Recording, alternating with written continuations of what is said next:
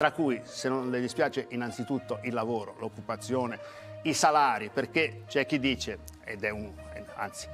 lo dicono le stime ufficiali, i numeri, l'occupazione cresce, più di mezzo milione di posti di lavoro in un anno, soprattutto posti di lavoro a tempo indeterminato, però salari che in Italia, molto più che negli altri paesi, non, non, non salgono come invece sale il costo della, della vita.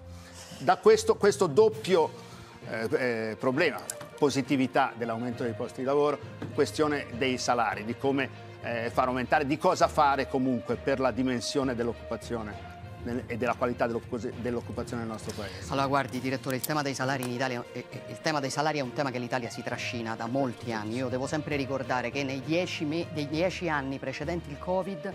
in Italia i salari diminuivano dell'1,5% mentre in Germania aumentavano del 16% e in Francia del 9%. È la ragione per la quale quando noi siamo arrivati abbiamo concentrato tutte le poche risorse che avevamo, perché non ne avevamo molto, a rafforzare i redditi delle famiglie. Non voglio ricordare, staremo qui 20 minuti, tutti i provvedimenti che abbiamo fatto, ma dal taglio del cuneo fiscale alla decontribuzione per le mamme lavoratrici, l'aumento delle pensioni, particolarmente delle pensioni minime, l'accorpamento la, la, dei primi due scaglioni dell'IRPEF, quindi sempre per i salari più bassi, il raddoppio dell'assegno unico, la detassazione dei premi di produzione, dei fringe benefit, cioè ci siamo concentrati su questo.